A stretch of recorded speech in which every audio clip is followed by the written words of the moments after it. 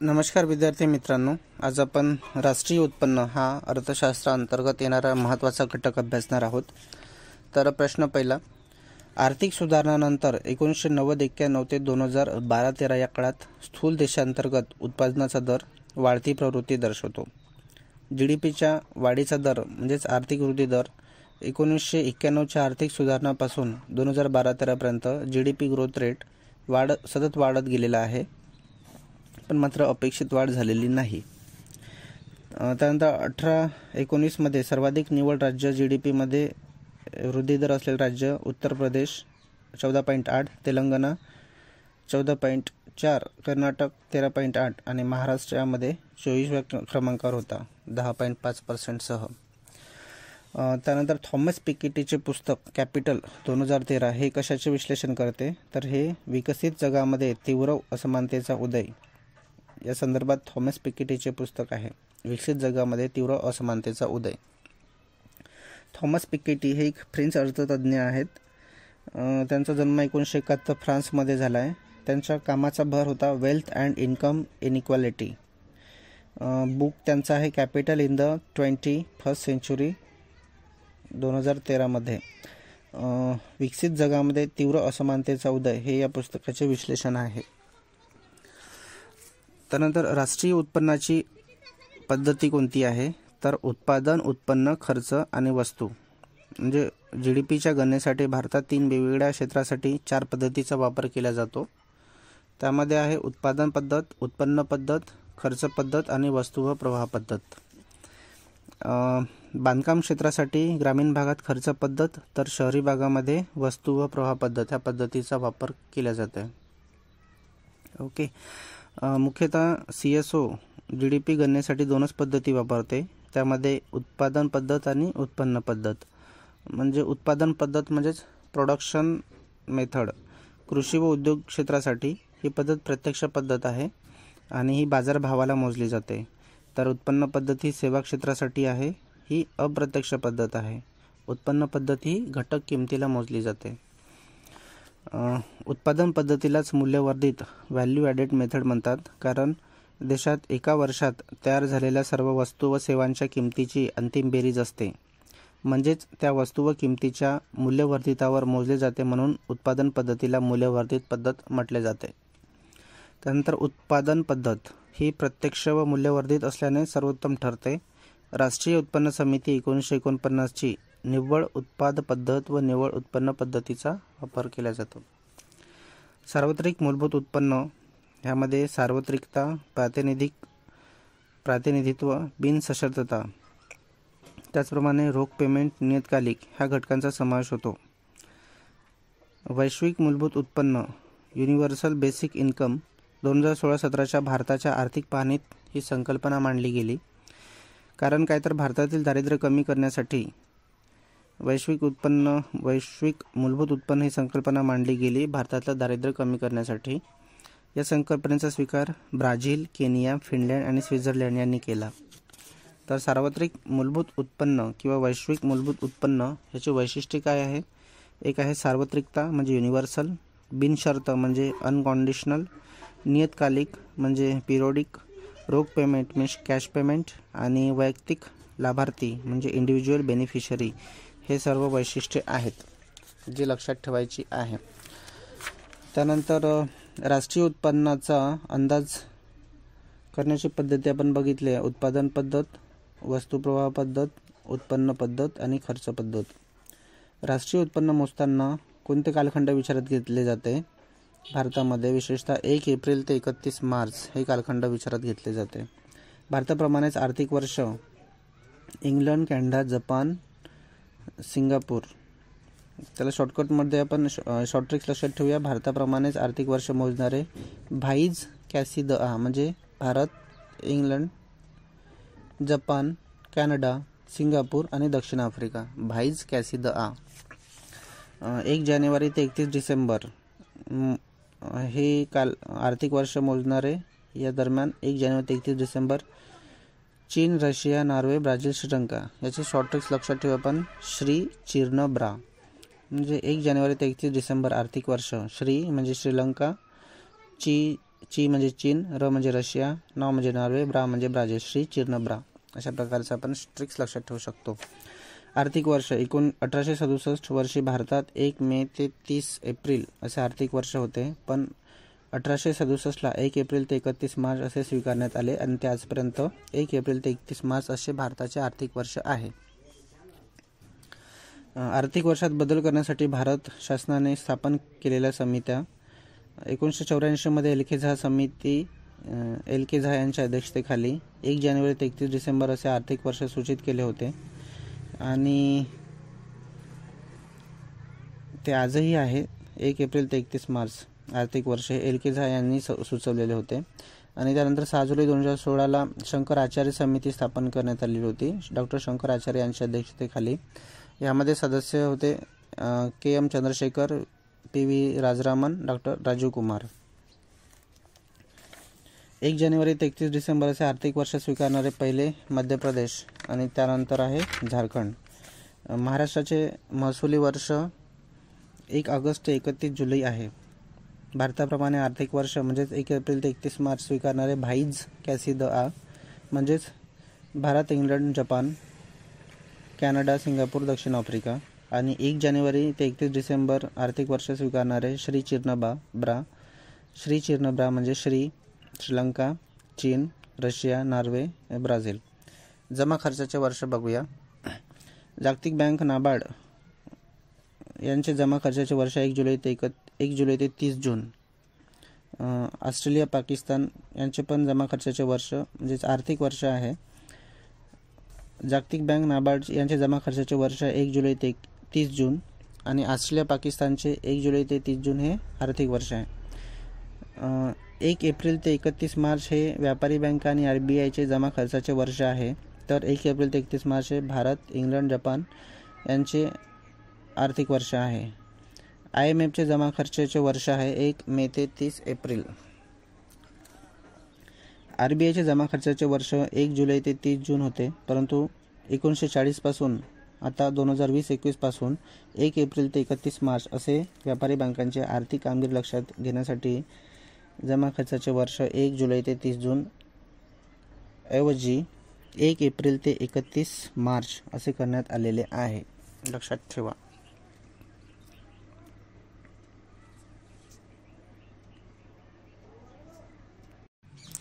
स्थूल देशांतर्गत उत्पादन म्हणजे जी डी पीचा अर्थ काय तर एका देशाच्या सीमेतच उत्पादित झालेल्या वस्तू आणि सेवा. राष्ट्रीय उत्पन्न मोजण्यासाठीच्या संकल्पना जी डी पी आणि G N P G D P म्हणजे काय तर एका वर्षात देशाच्या सीमेअंतर्गत जेवढ्या वस्तू व सेवा निर्माण होतात त्यांच्या किमतीची बेरीज म्हणजे जी डी पी होय.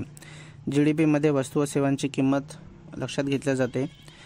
जी डी पीमध्ये भारताच्या सीमेअंतर्गत ते भारतीय असो किंवा परकीय सर्वांचेच उत्पन्न असते. एखाद्या देशाची अंतर्गत शक्ती जी डी पी दर्शवते. जी डी पीमुळे अर्थव्यवस्थेचे संख्यात्मक आकलन होते. जी डी पीमधून घसारा वजा केल्यास एन डी पी प्राप्त होतो. जी डी पी वजा घसारा म्हणजेच एन डी पी त्यानंतर जी एम पी बघूया. देशाच्या नागरिकांनी मिळवलेले उत्पन्न म्हणजे G N P G N P म्हणजेच G D P plus export import export म्हणजे स्वकीय आणि परदेशात कमावलेले उत्पन्न. यामध्ये व्यापारशेष व्याजप्राप्ती एन आय एन आर आयने पाठवलेले उत्पन्न. थोडक्यात कोणत्याही प्रकारची येणी म्हणजे हे एक्सपोर्टमध्ये काउंट केल्या जाते.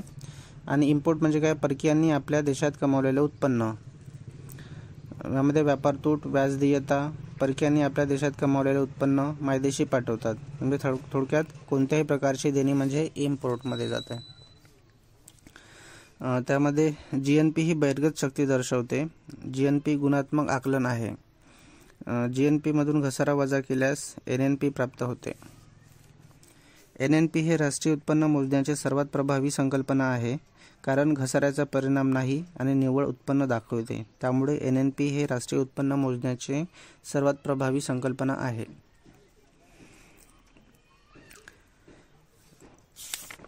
त्यानंतरचं क्वेश्चन बघूया. भारत सरकारद्वारा पी सी महालनोबिस यांच्या अध्यक्षतेखाली राष्ट्रीय उत्पन्न समितीचे गठन झाले.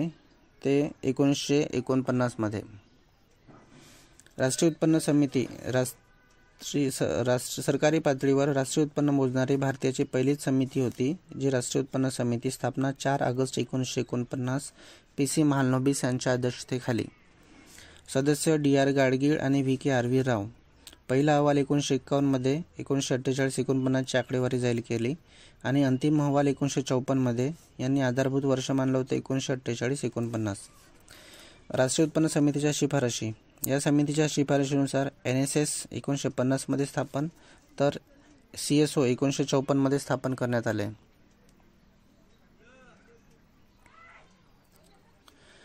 सम राष्ट्रीय उत्पन्न समितीने भारताचे राष्ट्रीय उत्पन्न शहाऐंशी पन्नास कोटी आठ हजार सहाशे पन्नास कोटी रुपये तर दरोडे उत्पन्न दोनशे सेहेचाळीस पॉईंट नव्वद रुपये असल्याचा अंदाज मांडला.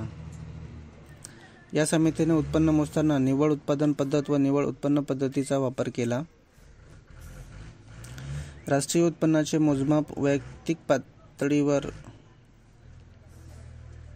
सर्वप्रथम दादाभाई नवरोजी यांनी अठराशे सदुसष्ट अडुसष्टमध्ये मोजले. त्यांनी राष्ट्रीय उत्पन्न तीनशे चाळीस कोटी रुपये व दरडोई उत्पन्न वीस रुपये सांगितले. विल्यम डिग्बी दरडोई उत्पन्न सतरा रुपये तर राष्ट्रीय उत्पन्न तीनशे नव्वद कोटी रुपये. फिंडले शिरास दरडोई उत्पन्न ऐंशी रुपये राष्ट्रीय उत्पन्न एकोणीसशे बेचाळीस कोटी रुपये.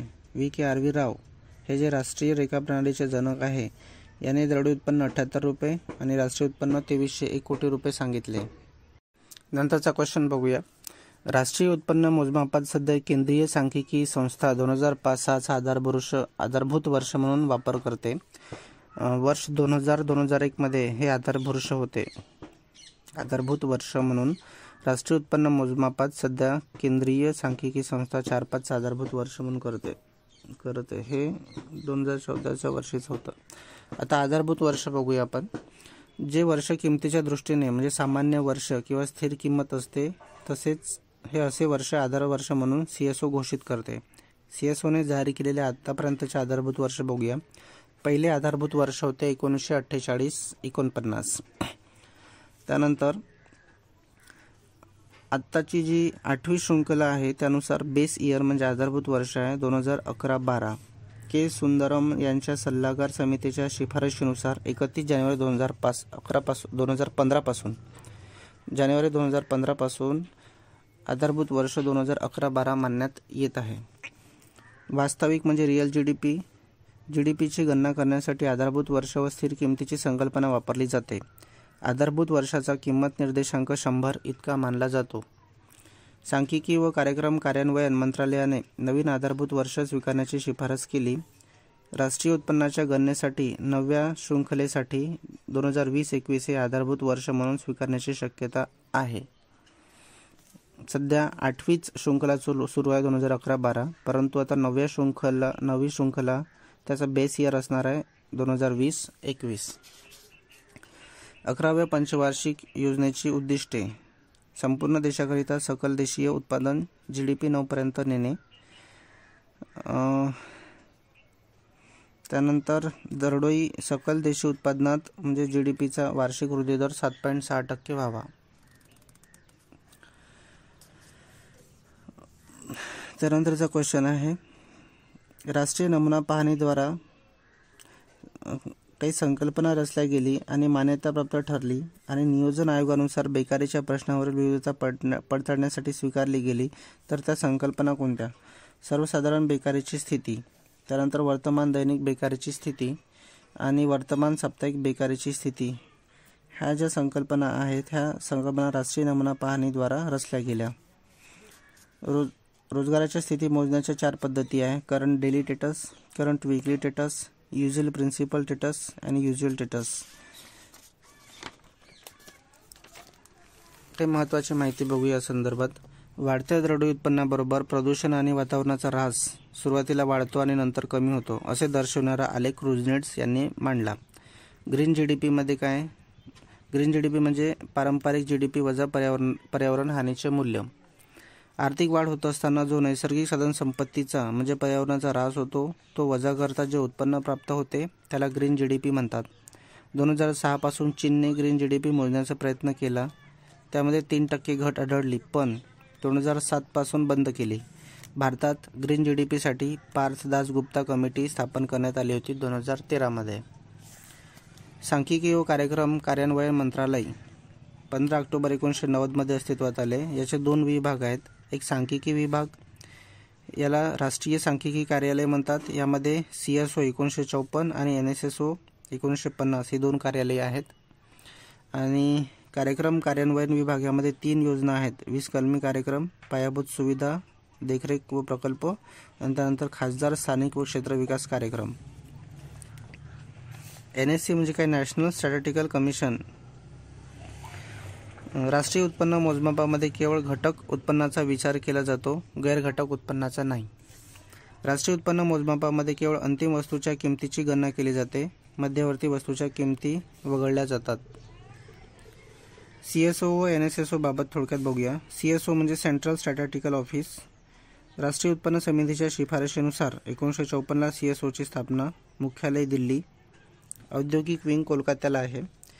सी एस ओचे प्रमुख कार्य राष्ट्रीय उत्पन्नाची गणना करणे राष्ट्रीय उत्पन्नाचे आकडे राष्ट्रीय लेखा सांख्यिकी एकोणीसशे अठ्ठ्याहत्तर या नावाने प्रकाशित करते.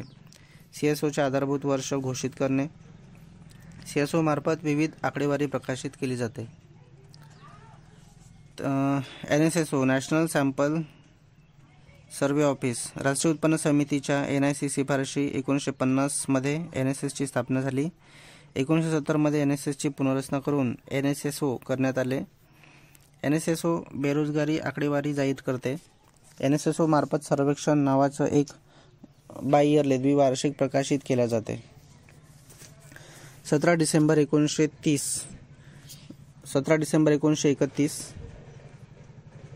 सतरा डिसेंबर एकोणीसशे एकतीस कलकत्ता येथे भारतीय सांख्यिकीय संस्था महालनोबिस यांनी स्थापन केली. तेवीस मार्च दोन हजार एकोणीस रोजी काढलेल्या आदेशाद्वारे सी एस ओ आणि एन एस एस ओचे विलिनीकरण करून राष्ट्रीय सांख्यिकीय कार्यालयाची म्हणजे एन एस ओची स्थापना केली आणि यामार्फत सी एस ओ व एन एस एस ओमार्फत मार्फत केली जाणारी सर्व कामे पार पाडली जातात. एन एस ओचे प्रमुख सांख्यिकी व कार्यक्रम अंमलबजावणी मंत्रालयाचे सचिव असतात. त्यानंतर राष्ट्रीय सांख्यिकी आयोग national statistical commission N S C बघणार आहोत. याची स्थापना झाली. जानेवारी दोन हजारमध्ये सी. रंगराजन यांच्या अध्यक्षतेखाली. अहवाल दोन हजार एकमध्ये प्रकाशित करण्यात आला. सर्व सांख्यिकी विषयक आकडेवारीचे किंवा घडामोडीचे सुसूत्रीकरण करण्यासाठी एका कायमस्वरूपी आयोगाची स्थापना करण्यात आली ही शिफारस आहे. बारा जुलै दोन हजार सहामध्ये कायमस्वरूपी एन एस एसची स्थापना प्राध्यापक सुरेश तेंडुलकरच्या अध्यक्षतेखाली करण्यात आली. याचे अध्यक्ष अंशकालीन अध्यक्ष म्हणून कार्य करतात. पदावधी तीन वर्ष ते सत्तर वर्ष आहे. आणि सध्याचा अध्यक्ष आहे बिमल कुमार राय. हे पंधरा जुलै दोन हजार एकोणीसपासून आहे. तुम्ही आणखी करंट माहीत करून घ्याल. तर जी डी पी डिफ्लेक्टर म्हणजे काय? हे किंमत वाढ किंवा घट मोजण्याचे निर्देशक आहे. याचा आधारभूत वर्ष काय? जी डी पी डिफ्लेक्टर एक असतो. जी डी पी डिफ्लेक्टर म्हणजेच nominal G D P upon real G D P